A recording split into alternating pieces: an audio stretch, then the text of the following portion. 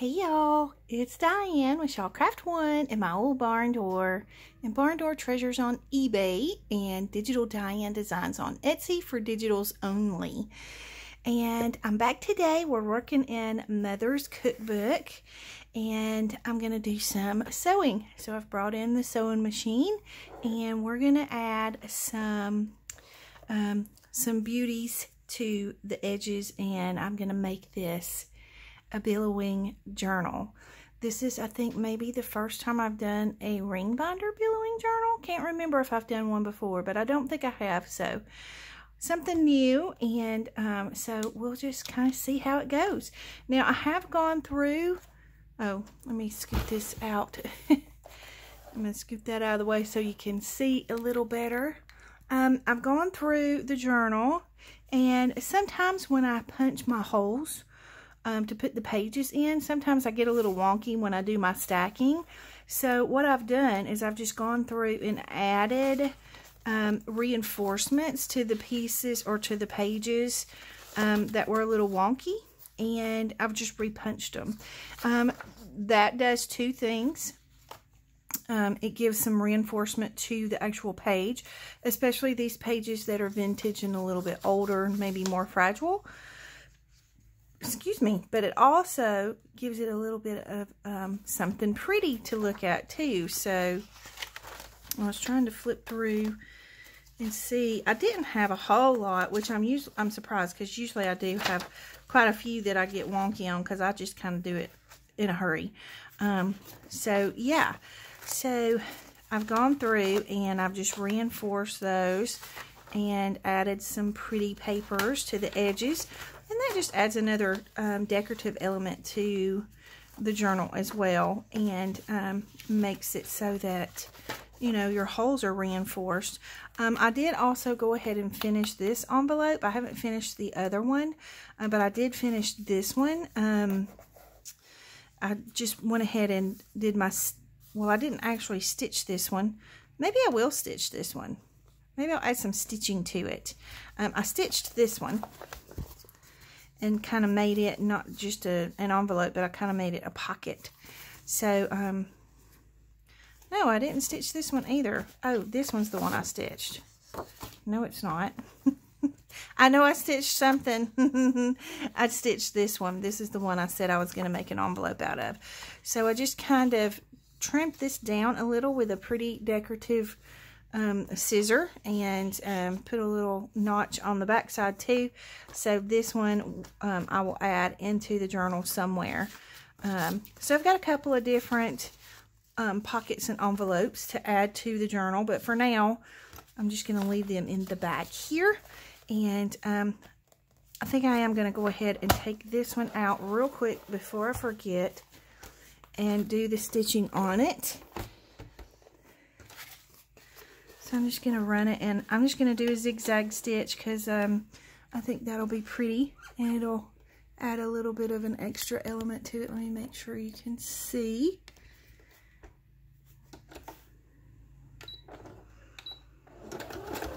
Now, when I stitch um, on envelopes and things like that, um, wherever people are going to be putting things in and out of that particular item, I kind of like to do like a double stitch. I'm having some problems here with my, let me tighten that up a little and see if that'll do a little better. But anyways, I like to do a double stitch just to give it a little extra strength for the areas where people are going to be taking things in and out of the envelope or the pocket or what have you. So I'm just going to run this through really quickly see if I can go backwards, back stitch on this one, and hopefully, I don't know what's up with my, with my, with my tension on here. I'm gonna have to play with it and see what I've got going on. So I'm just gonna stitch both sides.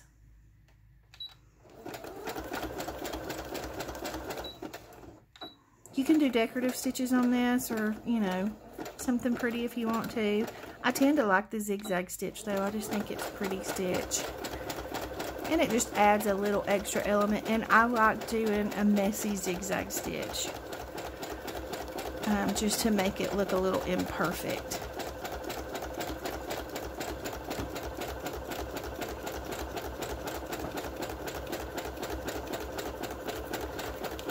So it appears that we have some questions on um, the video that I released talking about um, memberships for the channel to kind of help support the channel.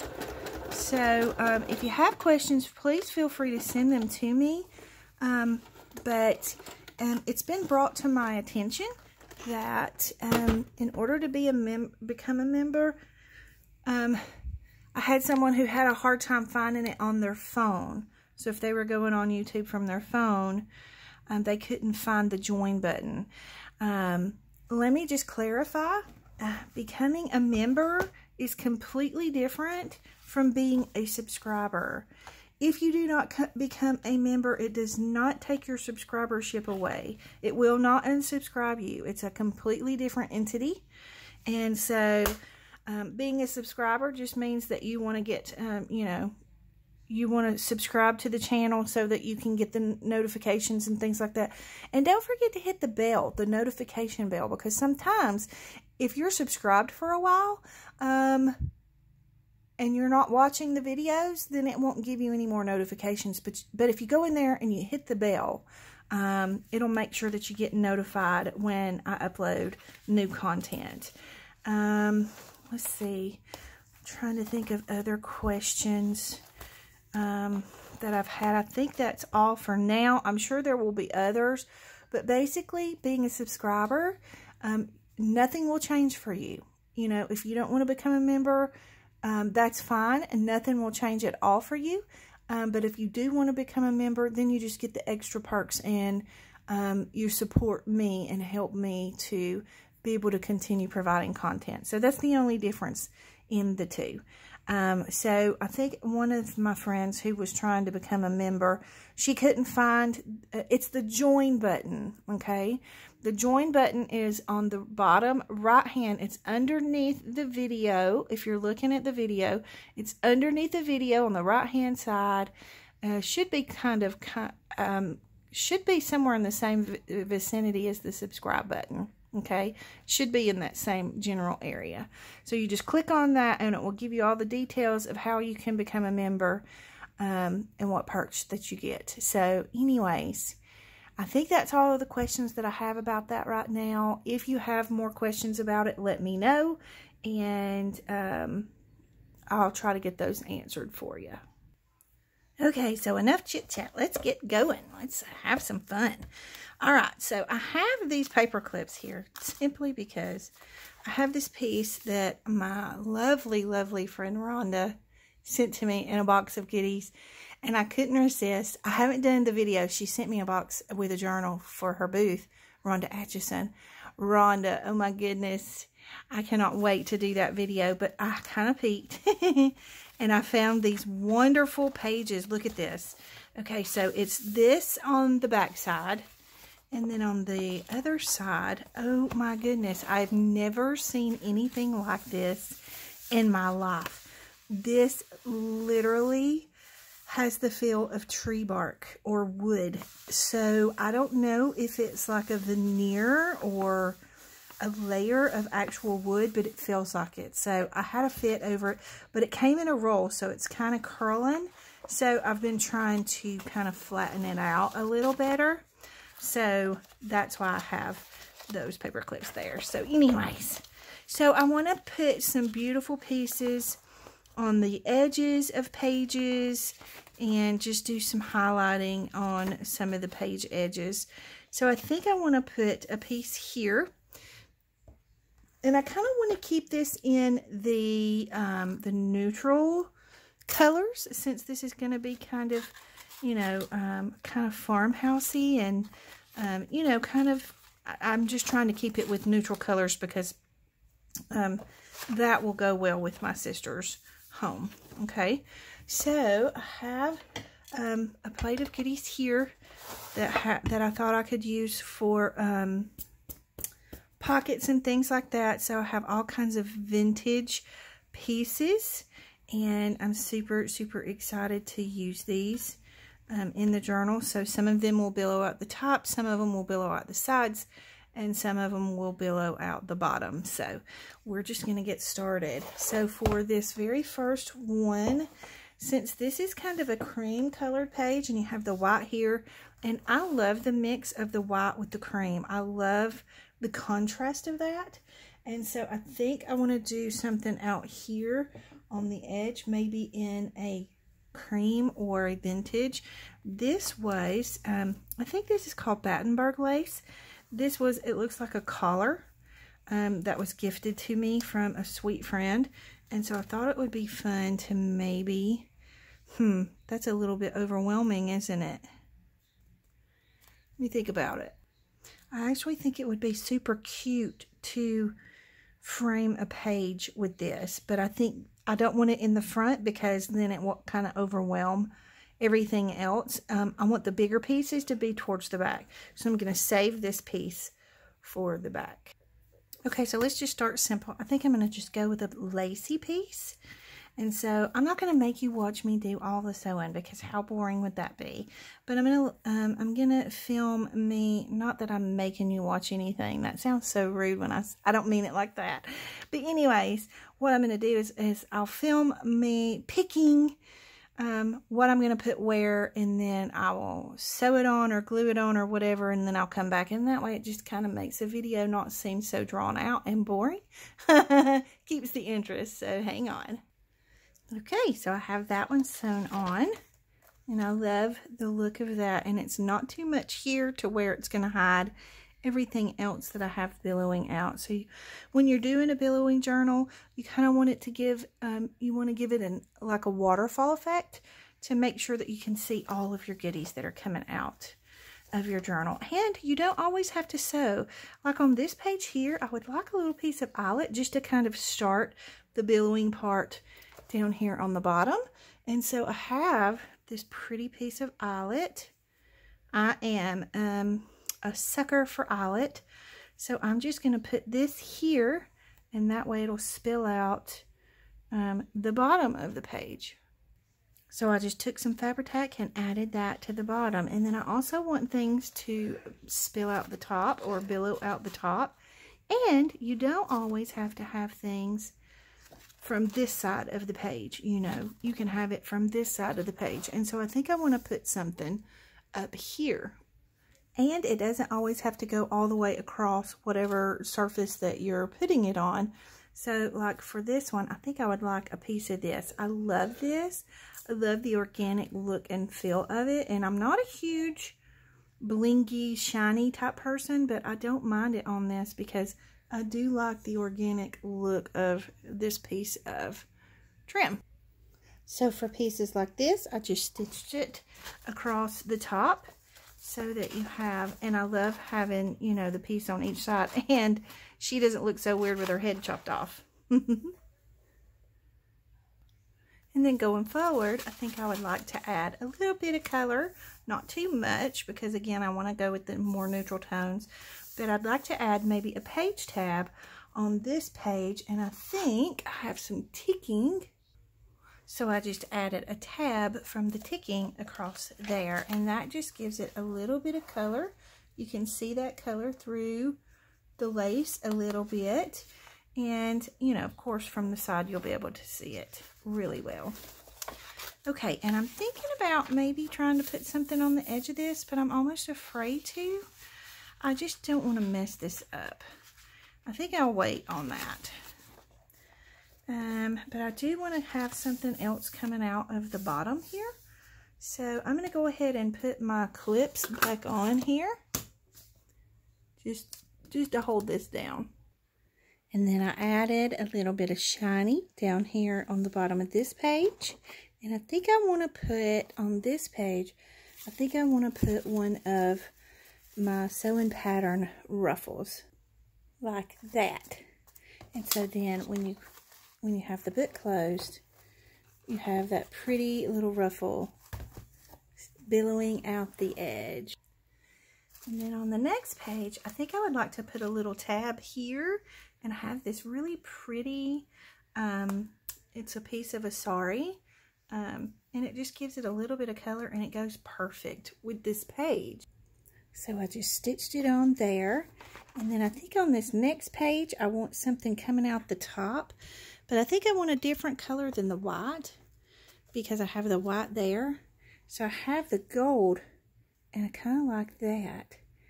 So I think I'm going to stitch that up here on this side. So that looks pretty like that. And then the next two pages, they're um, folded, so you can't really do a whole lot with those. But I do want something kind of billowing out the bottom of this page. And I have this really pretty bohemian looking fabric. And I thought it would be pretty to stitch not just, uh, you know, something to billow at the bottom, but make it into a pocket as well. And th that way you still see the pretty page underneath it, but then you also have the billowing effect as well. And so I just stitched that on and now it's a pretty little pocket and it's see-through. It's just as pretty with something in the pocket as it is without. This page I'm not going to do anything to because it's a little fragile, but this page I absolutely love. And I think it would be really pretty with like a page tab. And so I have this um, piece of a sari from a sari. And I thought it would be pretty to stitch it on maybe right there. So we have that there. And then I think again, because this one's so thin, I probably won't put anything on it. But I think here would be the perfect spot for another something billowing out the side. And how pretty would that be?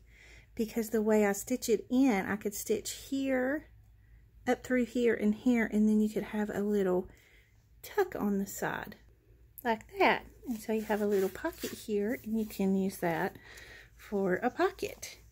Now I think I do want to put something up at the top of the page here.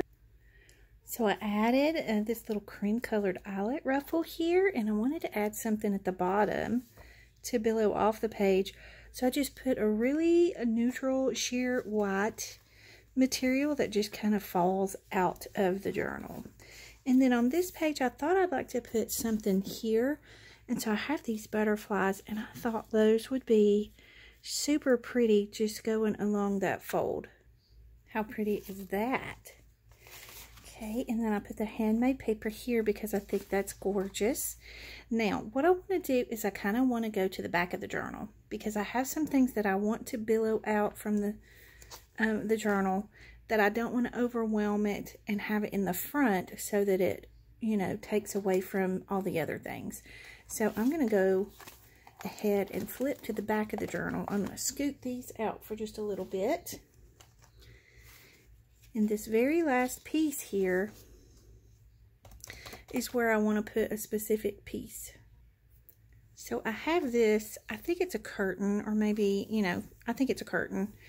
But I absolutely love, love, love this eyelet down here. I just think it's so pretty.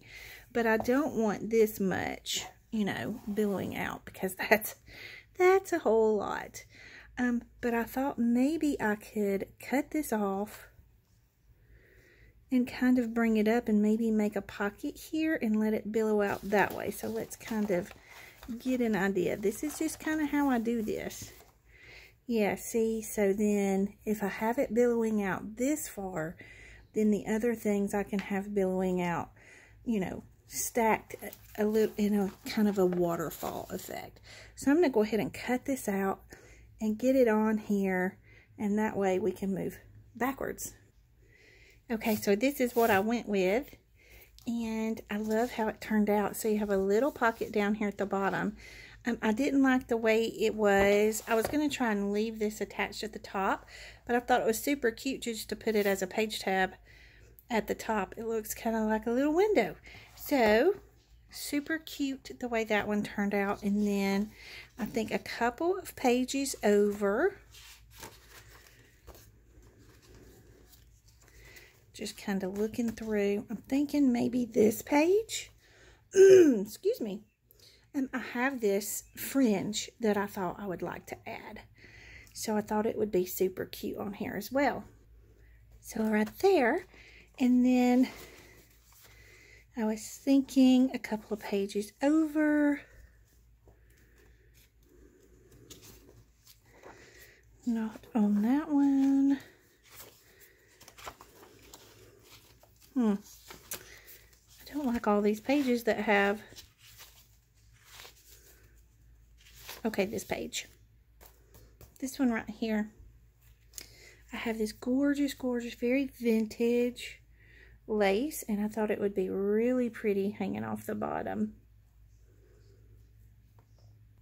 So I have that there, and I want to go back again because I want to put another one of my sewing pattern paper ruffles. And I want it to be pretty big billowing out, so I'm going to put it right here.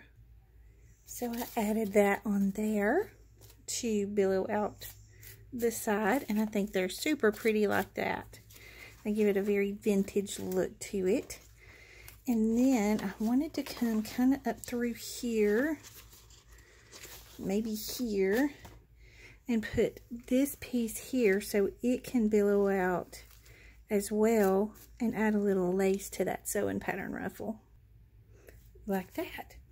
And then I want to come this way.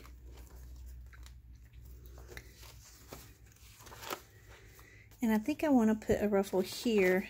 I don't know if I want it on this side. I think I'm going to try and put it on this side here. And I want to do it with this. It's a really pretty eyelet scrap and I think I can ruffle it up and make it look really pretty.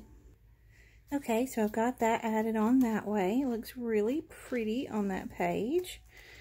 And just kind of flipping through to see where else I might like to have one. Now, sometimes I'll go ahead and do the sides and the bottoms, and then I'll kind of gauge at the top what to do. But I have a really pretty pink ruffle that I think I would like to put on the side of this.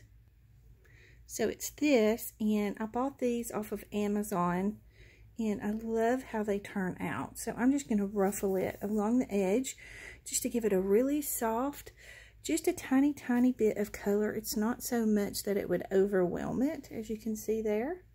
So it just kind of blends in really well. Okay, so just really soft, very delicate and pretty. I love, love, love the way that looks against that white braille paper. And then just a couple of more things. I think I want to do another um, page tab. And I have this really pretty wide lace here. And I thought it would be a pretty page tab. So we're going to do that. We're almost finished, guys.